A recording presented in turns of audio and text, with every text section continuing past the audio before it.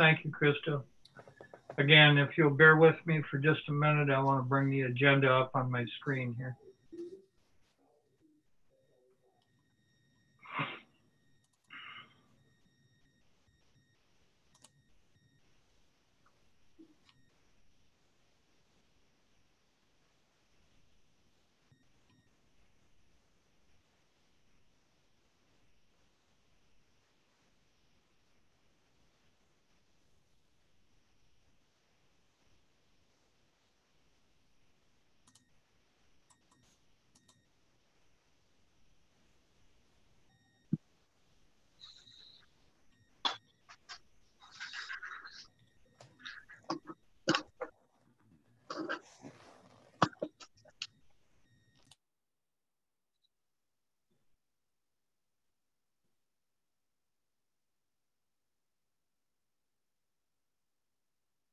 Can find it.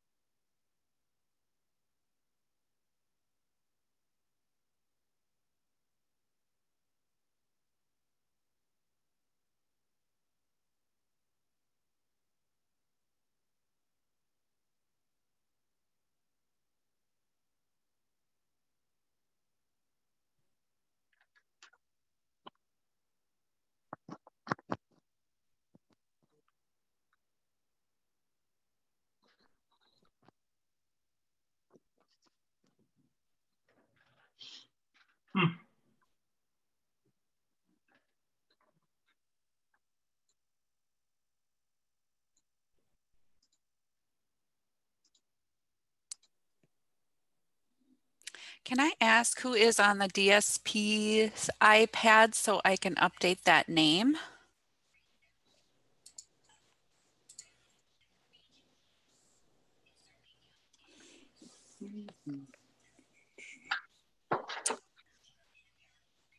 Be Sergeant Andrews Bell, State Patrol. What was, I'm sorry, what was the name? Sergeant Andrews Bell, State Patrol. Okay, thank you.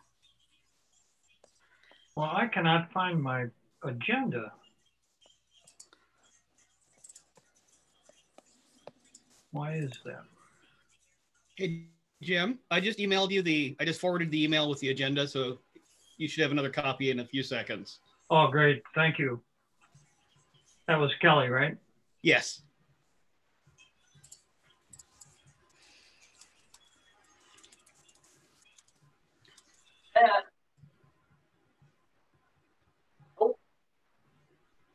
Yeah, I'll do it. Hello?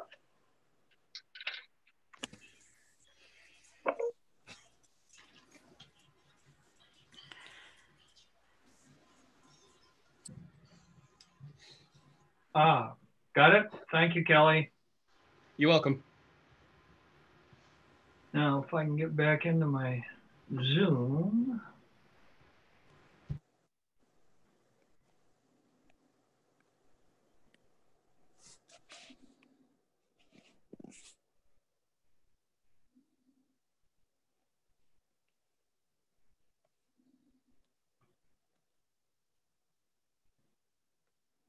All right, folks, apologize for the delay. I did lose track of time a little bit here this morning, or I'd have been better prepared.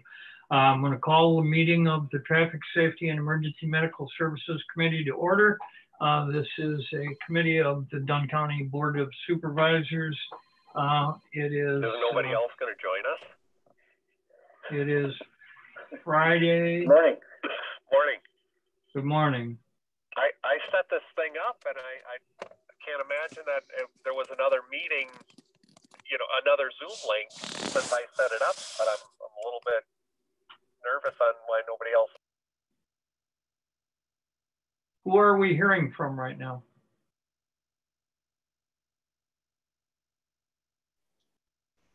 It sounded like got General a- Yeah, it sounded like what he would say.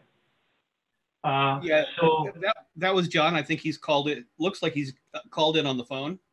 okay, John, are you on the phone?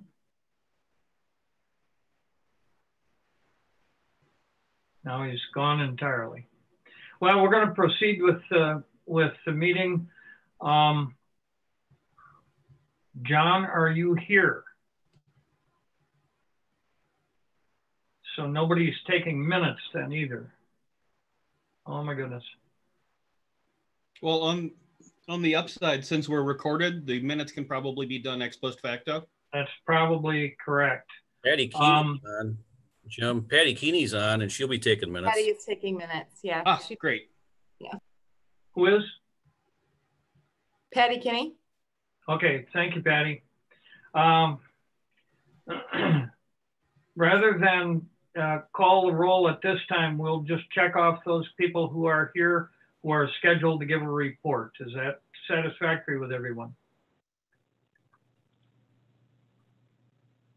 Um, I would entertain a motion to uh, approve the minutes of the June 19th meeting. You should have received that in your packet of information. Uh, and you'll probably need to speak up since I can't see everyone on my screen at the same time. Motion to approve the minutes of the June meeting. Scott McRoberts would make a motion. McRoberts moves, Bill Yink, second. Yink seconds. All those in favor of the motion? Oh, I should ask if there are any corrections or additions. All those in favor of the motion to approve the minutes, say aye. I, Any opposed? The motion carries. Thank you very much. Uh, we don't have any public, uh, so there will be no public comment. We'll get right into the reports and we'll do it in the same order that are, that's in the agenda, obviously. So, uh, starting with DOT Traffic Engineer Chad Hines. Chad, you want to take it? Chad Yep. here? All right, good morning, everybody. I'll start off with uh, where we're at on our 2020 construction projects. Um, the first project, I-94 Knapp Hill area. Um, right now, from the from 128 to the top of the hill, we're working on removing all of our temporary roadway that we've built over the last couple years and used. Um, on uh, uh, earlier this week, we switched the westbound um, back to the new pavement that we've just placed. And yesterday morning, we switched traffic for eastbound so that now we can start reconstructing the eastbound side. So we're split one lane eastbound on the original alignment, and then one lane goes down the westbound hill, just opposite of what we've been doing the last two months out there. Um, the contractor's saying they're going to be a little more aggressive here, and we're hoping to have all of the eastbound hill done by the end of October, and then um, final grading and get all of our temporary removals done by the middle of November. That's of course weather permitting. Highway 12 from County B to 94, they just started milling out there. Um, we got probably about three weeks or so of paving, looking at having that done by October 15th. Um, they do have a three day um, maximum allowance um, before they have to start paving on top of the milled surface. So hopefully we don't have the, the milled surface out there any longer than we need to. And then the last project we still have going on in Dunn County is Highway 25 from the South County line to the Red Cedar River. Um, the new alignment is done uh, where we kind of straightened out that curve a little bit. Um, right now we're working on the shoulder widening for our five foot paved shoulders that'll have rumble strips on it. Um, should be starting milling and paving soon. That one they have to pave uh, within 48 hours after milling, so that's a little bit tighter time frame on that. Um, and looking at having that project complete by the end of October. Um, other traffic related items, we had a public information meeting uh, at the end of August here on the Stout Road project from um, 6th to 21st in the city of Menomonie for that road diet. Um, we've gotten quite a bit of public feedback. Um, there's mixed reactions on it, but uh, still we're getting quite a bit of positive feedback too. So we're moving forward with the project yet still. Um, and one thing that we're looking at probably doing is not painting the bike lanes on the outside. That seems to kind of be a sticking point with everybody. And, you know, really need to consider, are we really going to have bikes on that, on that busy highway? Um, and it's still looking at being constructed in 2022. Um, the other thing, um, we get periodic complaints from time to time on the Highway 12 and H intersection and Elk Mound. Um, this summer we went and um, we increased the size of the stop signs and we actually doubled them up on both sides. So we'll see if that kind of kind of takes care of people's concerns about not being able to see the stops sign, especially in that northbound direction with the utility poles and stuff in the way. Um, I guess if it still seems to be a concern with everybody, we'll look at what it may take to possibly put in an overhead stop sign or move some of those utility poles, but that could be quite an expensive undertaking to do that. So we'll we'll see if this little treatment we've done here kind of helps um, curb some of those concerns. So anybody got any questions on anything I went through? Ed Scott here. Um, that 25 South project, um, what are we gonna do, um, going into the winter? Are we gonna put snow fencing on that? I know you talked about lining that north side or northwest side with trees e- eventually.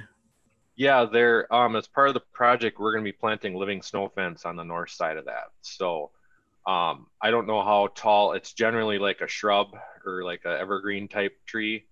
Um, I don't know for sure what they're putting in there, but we'll have to see what that looks like after it's planted. And we may need to consider snow fence for a little while until that gets established, but, um, I know as part of that project, we are putting in some living snow fence. Okay, thank you. Yep. Any other questions for Chad?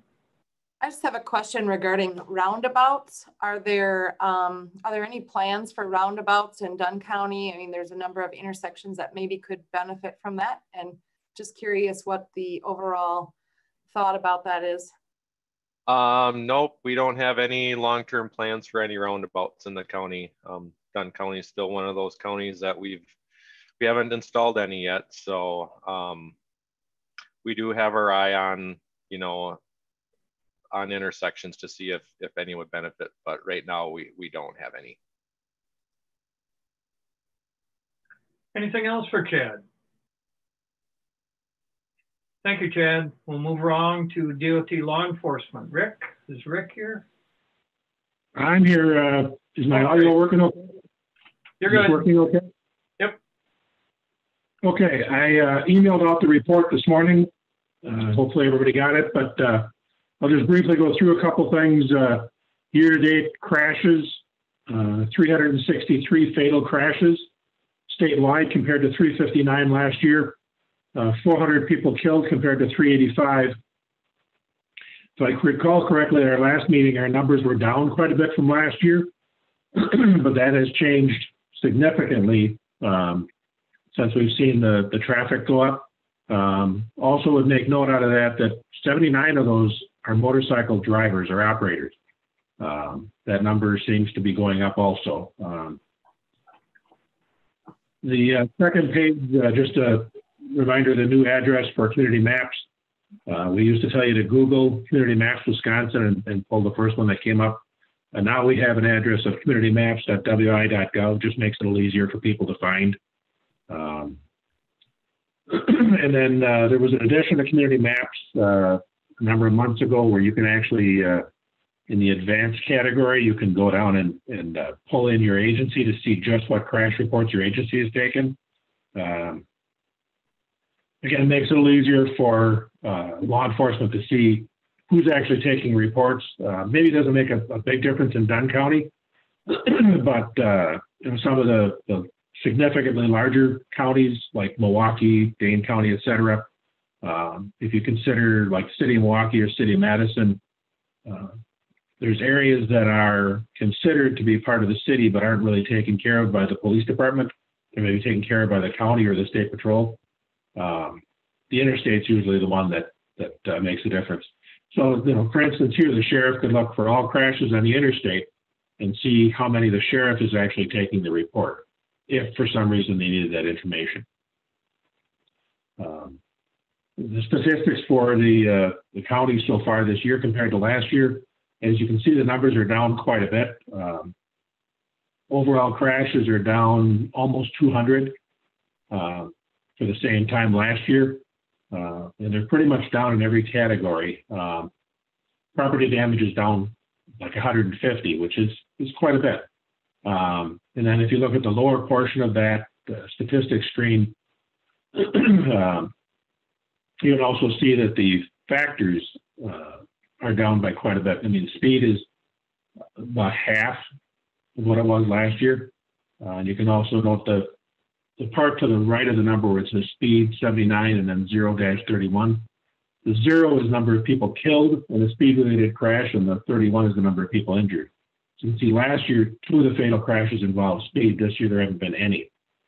Um, teen driving uh, or driver crashes are down significantly. I think that is probably due to the fact that school hasn't been open until recently. Um, so most of the numbers are are down uh, significantly from last year for the county.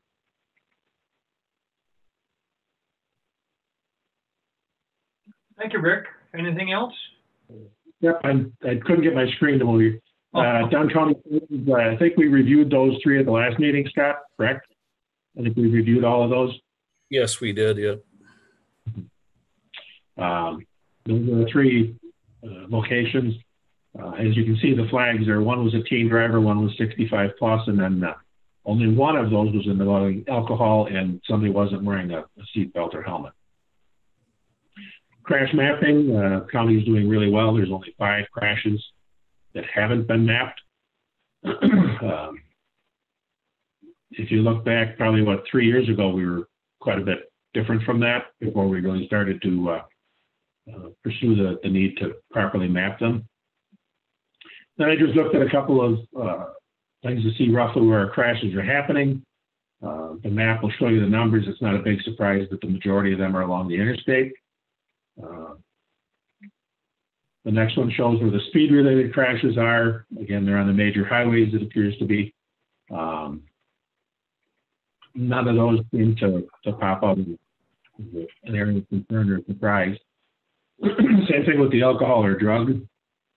They seem to uh, be focused around the Menomonie area, which I would imagine is probably the higher uh, traffic area in the county. Um, then I took a look at uh, just looking at the injury and fatal crashes, the significant injury and fatal crashes, of which there were 60. Uh, three were fatalities, 74 injuries. And again, you can see 22 of those crashes are right in the Menomonie area. Uh, and uh, next, using the predictive analytics, one of the tabs on the, on the community maps will let you predict where can we see crashes in the next, whatever, 60, 90, 30 days. I looked at the next 90 days and looked at things that law enforcement can actually have a, a direct impact on, such as speed, uh, seatbelt, uh, speed, distracted driving, etc. Um, and you can see in the Menomonie area, as well as the Menomonie area along 94, are the two primary areas where we were most likely to see those type of crashes. Uh, and I broke that down into uh, shifts. Um, just to kind of give you an idea of how different it can be. Uh, when you look at the day shift, you can see where, again, they're in the Menomonie area and maybe a little bit west. Um, afternoons is directly in the Menomonie area, but at night, it's over in the Elk Mound area. Uh, I don't know if that's something that you guys are seeing, uh, Scott, but it's kind of roughly where you can expect to see those type of crashes happening in the next 90 days. Uh, targeting, I'm not sure if, uh, do you have Mike or Joe that covers you? Mike Ponish or Joe uh, Davis? Mike, and we're approved for next year already. For the summer speed grant? Correct. Yeah. Which you're not targeted for occupant protection and not targeted for um, impaired driving, which is a good thing. It means that those crashes are not at a high rate and they don't rise to the level of needing funding. Um, so while many times I know the sheriff would like to get money for extra enforcement, the goal is to get off of the targeting list so that your crash numbers and your crash rates are low enough that it's not a problem that rises to the level of, of, of funding needs. So, you know, the, the one side, at least where I worked in Fond du Lac, the sheriff always liked getting the money, but the goal is to eventually get off of that list so your crash rates are low enough that funding isn't isn't needed. It doesn't hit the targeting level. Um, and then the uh, last thing I have is the mobilizations, uh, the one that just finished, Drive Sober. Um, finished September 7th. Make sure that law enforcement submits their report through Wise Grants. Um, there may be a change in the equipment grants that go along with those. Uh, there's been some pushback from NHTSA, but I'm not sure where that's going to go or what's going to happen. Um, we're hoping to at least be able to continue to do that. One out of three gets $4,000. Um, I'm not sure if that'll continue or not, but uh, we'll keep you apprised of that. So if there's any questions, let me know. Otherwise, that is all I have, sir. Thank you, Rick. Any questions for him? Pretty thorough report. Appreciate that. Thank you so much. Um, moving on to railroad. I don't see Mike here. Is there anybody from railroads? Speak now or forever hold your peace till the next meeting. Um, highway safety. Scott, you're up. All right. Well, as far as sheriff's office crashes that we've handled uh, since June 10th, last meeting until September 10th, 61 total crashes, four deer that we handled, uh, 20 multi-vehicle crashes, 41 single vehicle crashes, 19 crashes with injuries, and 21 or 23 total persons injured out of those crashes as I was putting down zero fatals yesterday, I always get a little bit hesitant putting that zero down. And we had a serious crash come in right after that. 25 year old gal northbound on County Q in the village of Knapp approaching US 12 went right through the intersection. Um, we're not clear why right now. Struck some guardrails uh, sections that are placed at Madison contractors. Um, it looks like it is going to be a fatality. Um, so we'll report a little more on that one next time. We participated in Click It or Ticket June 22nd through July 5th, and then uh, Drive Sober or Get Pulled Over August 21st through September 7th, which does make us eligible for whatever equipment grants may exist uh, in the future here. Um, speed grant, we just, we are concluding that here the end of September. We've participated. We were awarded $30,000 through DOT um, for the months of June, July, August, and September. I think we're going to spend around 20 to 22,000 of that. Um, and we're, we're already approved, as Rick had said, for next year. And yeah, we want to get off that list. Um, and as Rick had noted, our crashes are right back to where they were historically. Um, prior to last meeting, we, we were down with COVID, but everybody's back to driving and really moving. So I'm just curious, once Highway 25 gets done, road speeds tend to increase when you got such a nice smooth road. So it'd be interesting. I think we need to get some speed enforcement going down there once we're open on that again. Um, But that's all I have. Any questions?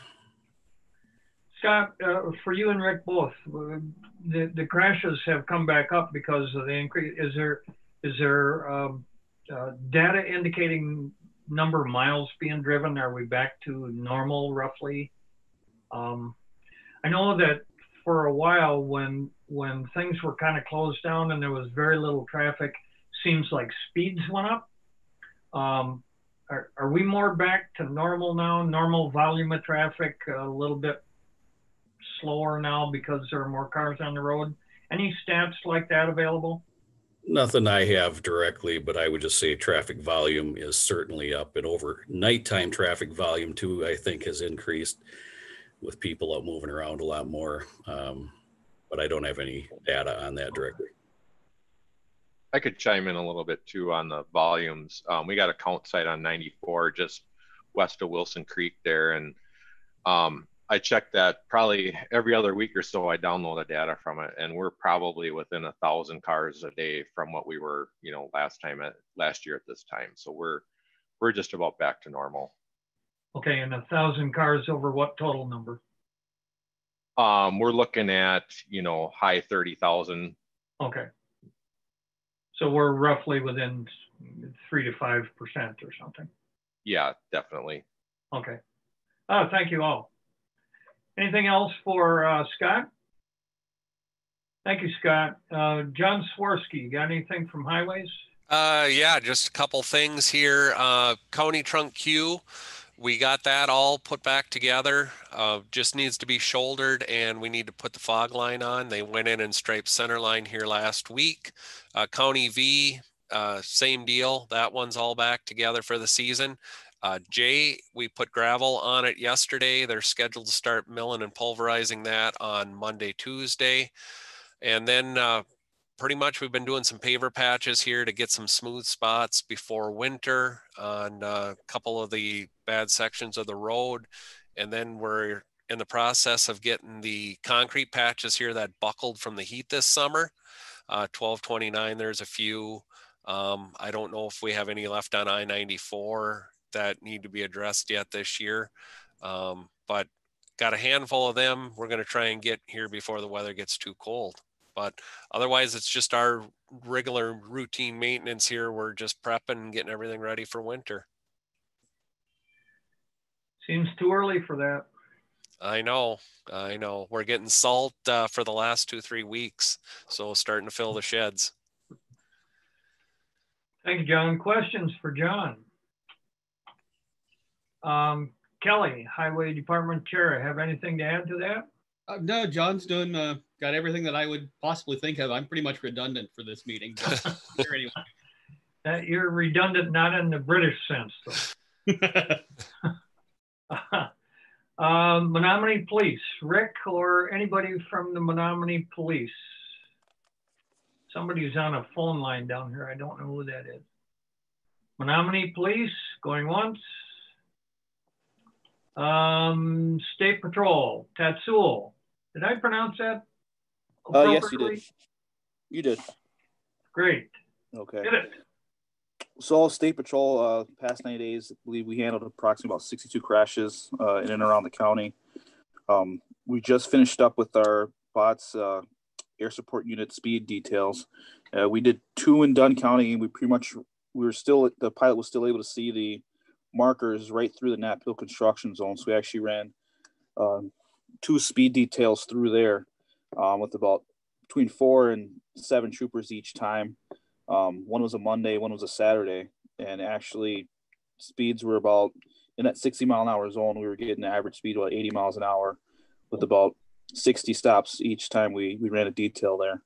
Um, I think the highest speeds we had were about 91 or 92 uh, each time. Um, we still have vehicles, uh, dedicated mitigation cars in the zone twice a day um, from six to 10 and then three to seven. And then our inspectors are also working a little bit later hours, so they're still available um, not only in the interstate in the scale, but also on the county roads, uh, checking weights also. Um, finished our Click It or Ticket mobilization there the end of August through September, through the beginning of September. And then we, on no, next week, Tuesday, the Operation Clear Track, we'll have some troopers over by uh, County B and the, the tracks going over there to do some enforcement throughout the day on the school buses and the tankers and whatnot. And that's all I got. Great, thank you. Any questions for uh, Highway Patrol? I would just say thanks to Tatsuo for the help in, at, during the Ridgeland Fair. They provided some trooper coverage up there. We had Drive Sober going on and we were pretty much tied up with event coverage, but uh, they're a big help in helping out up there. I appreciate it. Yep, no problem anytime. Great. Anybody else? Anything else? If not, uh, Jamie McDermott from Natural Resources, DNR. I don't see anybody from DNR. Is there that I'm not seeing? DNR? Don't see any response. And we'll go to school administrators. Bill? Uh, good morning, everybody. Bill, uh, Bill Yink, Superintendent Colfax Schools. A uh, couple of things. Um, our bus drivers are uh, driving a little differently um, than normal. And uh, what I mean by that is the mask wearing. Uh, we made a decision as a district, and I think most of the districts around us, that um, when the bus driver is driving down the road, they are not wearing a mask on their face simply due to glasses fogging up and things like that. We're trying to avoid any uh, hindrance uh, and safety issues that way. Um, something we're putting, I put out every year. I've been doing this for years, but um, um, the east sun is shining down our, our east-west roads right now in the mornings, and that has created uh, traffic issues in the past, mainly people driving uh, towards a school bus that stopped and the uh, sun is in their eyes as they're driving to the east. And um, this is a time of the year that we try to be vigilant and uh, make that known in our district. Um, have our bus drivers be extra vigilant uh, just uh, because of that. So um, if you talk to anybody out there, uh, spread that word that uh, you know the sun is obviously shining down the roads, but at bus stops that makes it pretty hazardous on uh, um, east-west roads. We did have a car go through one of our bus uh, our buses that were stopped on Highway 64 the other day. Um, bus was completely stopped, stop sign out, the stop arm was out, and a car going 55 to 60 miles an hour just blew right past it. Um, luckily, the parent was out there, and we've got a pretty good system uh, in that particular stop. Unfortunately, the cameras we have on the bus, we've got between five and six cameras on every bus. On the exterior of the bus where the camera was located, the camera, for some reason, it was installed by the factory too, but it was tipped down just enough we couldn't catch a license plate. So we're going through all of those cameras uh, currently to make sure that uh, uh, they are focused in the right uh, right spot. Um, want to thank Scott uh, McRoberts. He checked out a bus stop for us in County Road B on one of the sharp 90 degree corners by the Tainter uh, Church. Um, that area, I think we've got a safe resolution to that. And uh, just want to thank Scott and law enforcement for what they're doing. Um, no, it's not an easy time to be uh, in law enforcement and just appreciate all the support and efforts there. That's all I have. Thank you. Thank you, Bill. Any questions uh, for Bill? Interesting comment, uh, both about the bus drivers' masks and the uh, uh, the sun in your eyes. well, we've all had the experience, and I would imagine it would be difficult to see red lights on a bus. Of course, that's why they're big and yellow. Um, Gary Steen, County Board. I don't see Gary here anywhere. Uh, Ryan Howe from the community. Ryan, do you have any comments for us today?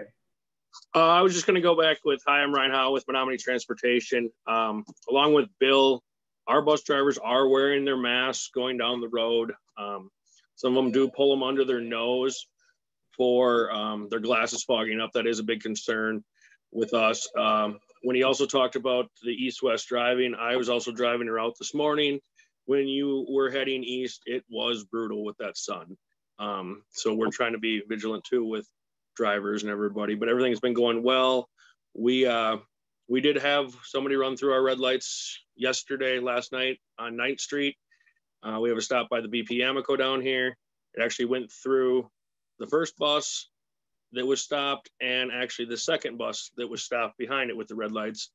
We do not have cameras on the outside of our buses. We just have them on the inside. We couldn't get a plate number off the truck because it was pulling a trailer, but um, law enforcement's worked great with us on that. We usually just get a plate number and they usually will go check it out or ticket them, which is great. Um, other than that, um, we we've had a few run the stop signs already this year. Um, but I think school's going good. Everything has been running pretty smooth actually for um, the start of the year with everything going on. So we've been very pleased with everything. If anybody has any questions, just let me know, I guess. Any questions for Ryan? Thank you. And again, re referencing the east, uh, uh, the sun coming up in the east. Pretty soon, don't worry, it'll be dark all day. I just have a quick comment for um, Ryan and the, well, the bus company, and just to let everyone know, um, Menomonie Transportation was wonderful to help the Menomonie Lions Club do a Stuff the Bus event here a couple of weeks ago. So um, Kyle Howe spent the whole day with us and we drove around and picked up school supplies and delivered them to um, Stepping Stones, Foster Closet, and West CAP. And it was a great day and we really appreciated Menomonie Transportation's support of that event. Great, thank you. Anybody else? If not, I have to pay attention here. Uh, we'll go to the medical emergency reports. Anybody from the Red Cross? Jenny here? I don't see anybody. But again, I've got a phone number down at the bottom that I can't identify. So if that's you, speak up. Jim, that's me, Melissa Gillenbach. Oh, Melissa. Oh, well, we'll get to you later. Yep. Th thanks for identifying yourself, though. No problem. Um, Nobody from the Red Cross Red Cedar. Mary?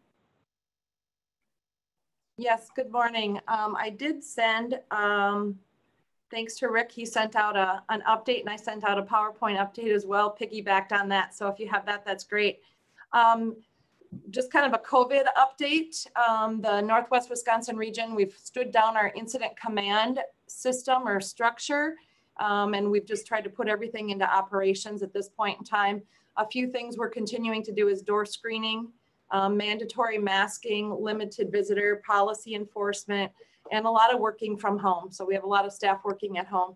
Um, we are continued focusing on keeping our staff healthy um, and the community healthy through our model, the behavior campaign internally to really encourage staff to mask at work and as well as when they're in the community.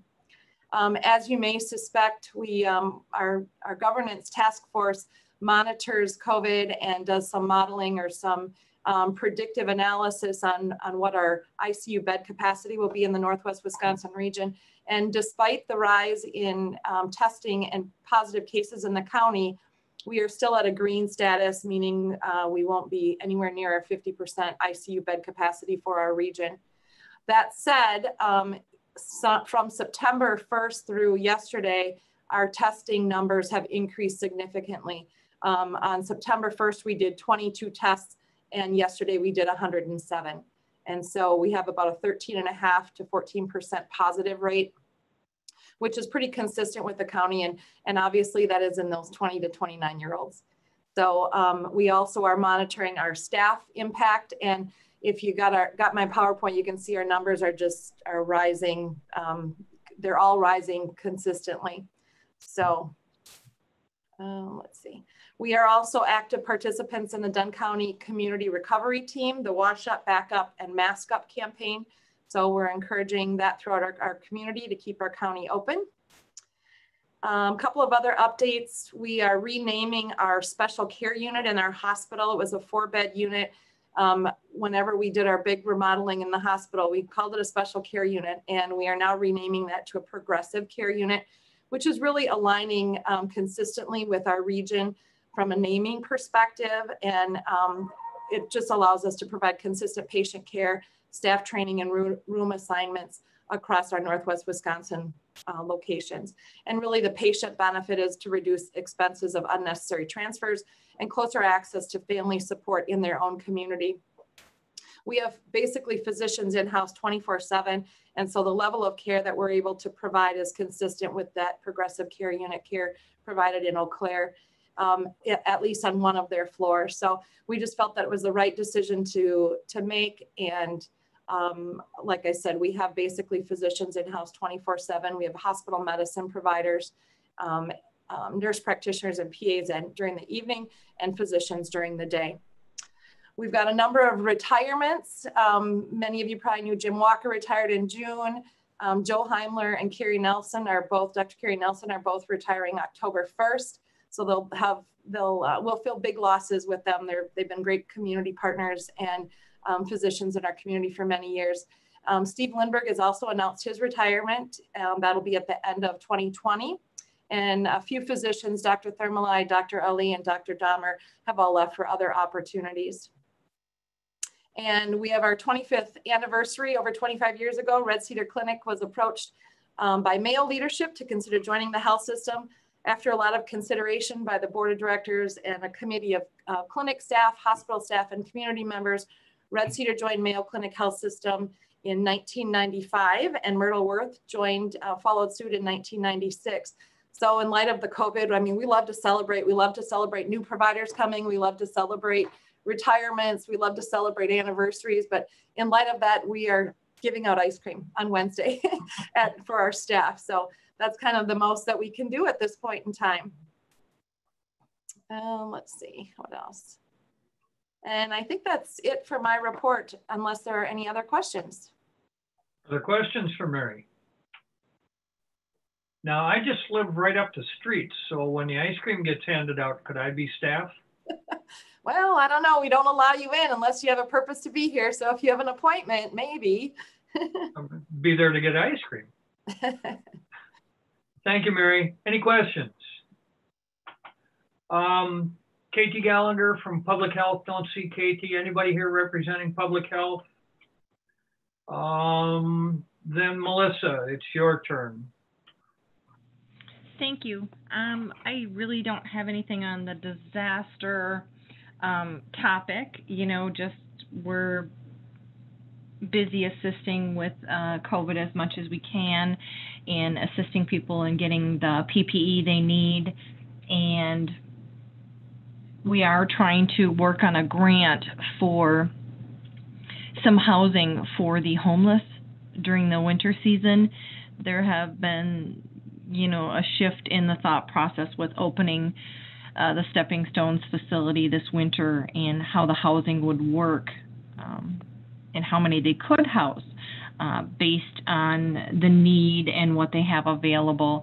And there's definitely a need for Dunn County to look at some other options. So we're trying to write a grant to get some funding to help, um, you know, house the homeless during this winter season and, and COVID with the COVID concerns. So that's probably all about I have.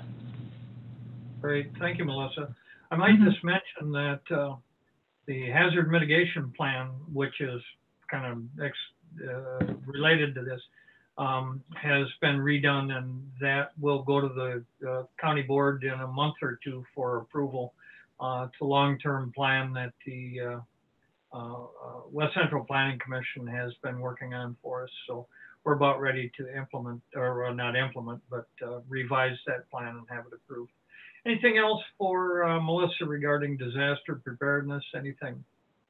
Melissa, um, this is Mary. I'm just curious. So is stepping, are you saying that Stepping Stones is likely not going to open or is there a number, a limited number of people they can house? And uh, my second part of that question is, do you have locations, if the county were to get a grant, are there specific locations that you're thinking to house them? And what, do you have any other details on that? Um, you know, I don't have a lot of details, Mary. I think the last conversation that I was in, which was probably at least three weeks ago, is that stepping stones um, could open, but for very a very small number, like it was two. Um, and we had several last winter that took advantage of the situation, you know, took advantage of the resources that were available at Stepping Stones. So if they're still going to go with that um, number of like two um, that they can safely house there, last I knew we were kind of looking at putting them up in a local hotel and the grant funding would pay for the daily fee at the local hotels for them. Okay, that, I'll be I'll be interested in how that goes because that's that has a huge impact on the medical center. Historically, lots of people would come and and we'd always have issues with people loitering. Obviously, now without um, with our visitor restriction policy, they won't be there, and so I'm just mm-hmm. really concerned about the safety of those homeless individuals in our community. Yeah, it is. It is definitely a concern. You know, um, that's why we're trying to get the funding um, and, and, and, currently, right now, it's a grant from the state that's being approved monthly. Um, you know, so we may apply for it, get approved, and you know, we might be approved for the month of October, November, December, and come January, the funding is no longer available. So we have to go to Plan B or C. But um, that is kind of the last thing that I knew that we were looking at um, was the possible hotel situation and, and we would just pay for the funding through that grant. If you need any help with that, I'd be happy to help. I'm even thinking we could look at the community foundation. They may have um, they may have funds to support okay. that or grants that we could potentially write for that as well. Sure. Okay. Thank you, Mary. I appreciate it. Yep. Anything else for Melissa? Thank you, Melissa. Um, Scott, you're double dipping today? Yep, nothing to report here though. Okay. Um, Andy, fire department. Yeah, not anything really specific to report on. Um, earlier in the spring, due to COVID, our call volume was down 25 to 30 percent. Now we're down, depending on the day, only five to eight percent. So our our calls have significantly increased. Um, when Stout came back, you know, you throw nine, ten thousand extra people in the town. So those calls have uh, increased with the ambulance. But other than that, nothing really specific. Questions for Andy? Seeing none. Uh, Katie, UW Extension. Sure. Um, I can talk about agriculture and uh, September 20th to the 26th represents the National Farm Safety and Health Week. Their uh, motto this year is every farmer counts. And so some things that they are highlighting is of course tractor safety as we get into fall harvest, having those lights on, flashers going when possible, um, and that rural roadway safety that's out there. So um, we are ahead uh, as far as harvest. Uh, corn silage chopping has begun. We're about uh, almost 10 days ahead of average. Uh, for that, uh, with corn silage coming off, manure application is then going on. So see a lot of tankers going out hauling manure onto those farm fields. Uh, potato harvest is about five days ahead of average, and it looks like apple picking has certainly begun. So we will, especially on these larger farms, start to see some cover crop application that is happening. There's a, uh, a pilot that they hire that comes and typically does that for a lot of the farms. And so uh, sometimes I get some calls when that yellow plane is flying around, uh, like we did when they were out doing the gypsy moth applications. So we are looking to do some curriculum development. Uh, a lot of our courses, of course, are moving online. So we utilize Canvas, that's the online curriculum, uh, to have that material. And so we will, looks like, have a livestock transportation training and certification that uh, hopefully next year will be available for emergency responders to have so that they, they know how to um, respond and handle livestock uh, during those accidents. So, of course, looking at overall farmer health and um, haven't heard a huge increase in COVID with farmers, but um, have heard isolated cases with farm employees. Um, that's all I have unless there are questions. So increased uh, farm traffic probably for the next couple of weeks, right? Yes, isolated uh, spots of frost out there. So I imagine combines will start rolling here in the next month. Any questions for Katie? Thank you. Um, there's uh, nothing for item number seven. Um, item number eight, next meeting date is December 18th, and I expect that all of you will be wearing your antlers and Santa hats and uh, other things since we're going to be on Zoom. I uh, want to thank uh, Patty and John and Krista for helping to set up and facilitate the meeting. And if there is no other business for the good of the order, uh, I will declare the meeting adjourned. And thanks, folks. Thanks to all of you for what you do and for your reporting today. Take care. Stay safe.